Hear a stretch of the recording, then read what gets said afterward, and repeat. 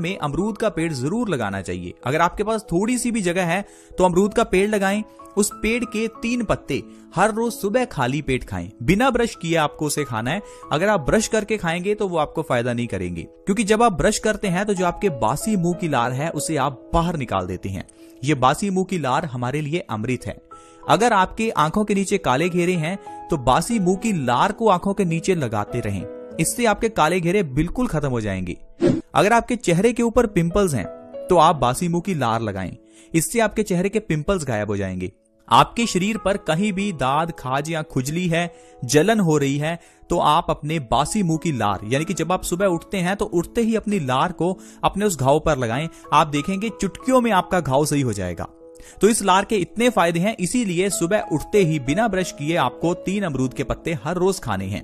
अगर आप ऐसा करेंगे तो इससे जो आपको फ़ायदे होंगे, आप हैरान हो जाएँगे। क्योंकि अमरूद के पत्तों में विटामिन सी भरपूर मात्रा में है। ये विटामिन सी हमारी इम्यूनिटी को बढ़ाता है। हमारी रोग प्रतिरोधक क्षमता को इंक्रीज करता है। अमरूद के पत्तों में एंटीऑक्सीडेंट गुण हैं, जो हमें कैंसर से बचाते हैं। इसके अंदर एंटीबैक्टीरियल गुण हैं, जो हमें बैक्टीरिया से बचाते हैं। ये एंटी इन्फ्लामेटरी है, जो हमें दाद खाज खुजली से बचाता है। ढेरों गुण हैं इसके। चलिए, विस्तार से जानते हैं, अगर आप खाली पेट अमरूद के पत्ते खाते रहेंगे तो इससे आपको कौन कौन से फ़ायदे मिलने वाले हैं। पहला फ़ायदा है डेंगू बुखार में। अगर किसी को भी डेंगू का बुखार हो जाए तो कहीं जाने की ज़रूरत नहीं है। आपको बस अमरूद के पत्ते खाली पेट खाने हैं। डेंगू के सेल्स इतनी तेज़ी से बढ़ते हैं, इतनी तेज़ी से तो आपके सेल्स कीवी भी नहीं बढ़ा सकती। अमरूद के पत्तियों का आप काढ़ा बनाकर पीजिए। डेंगू के केस में अमरूद की पत्तियों का काढ़ा कैसे बनाना है?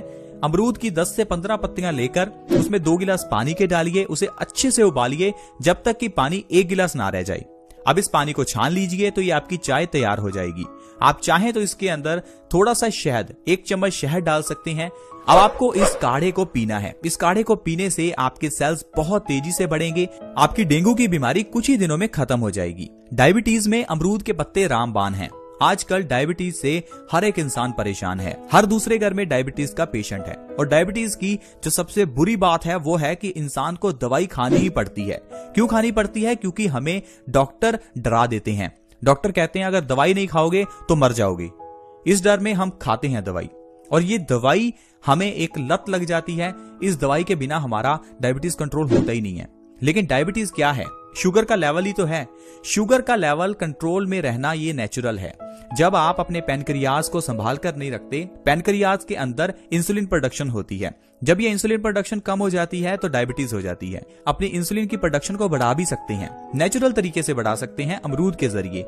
अगर आप खाली पेट अमरूद के पत्ते खाते रहेंगे तो इससे आपका पेनक्रियाज मज़बूत होता जाएगा और अपने आप से इंसुलिन प्रोड्यूस होता जाएगा।